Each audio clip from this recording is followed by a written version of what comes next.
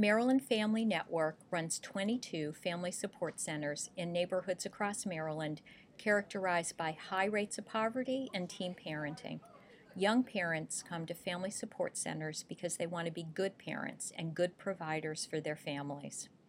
In this brief clip, you'll meet Michael Drummond, who has been coming to the Young Parent Support Center in Essex for two months.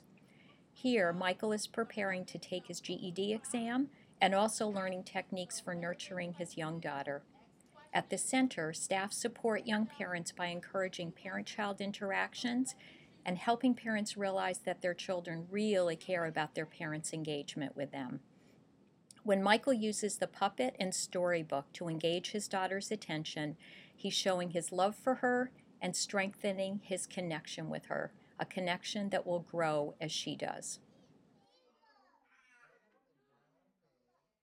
My name is Michael, Michael Drummond, my daughter's name is Jenia Myra. And I've been going to the center for probably two months now.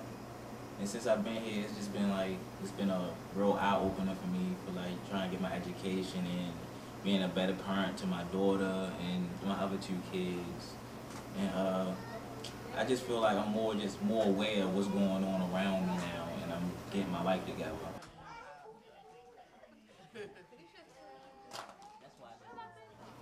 Definitely a lot more calm with my daughter now. Like, I can definitely just sit down and try to have a conversation with her, read books to her, and she interacts with kids a lot better than she used to. Like she has a brother, and they argue a lot or they fuss a lot. But since she's been here, she's been a lot more attentive and loving with her little brother.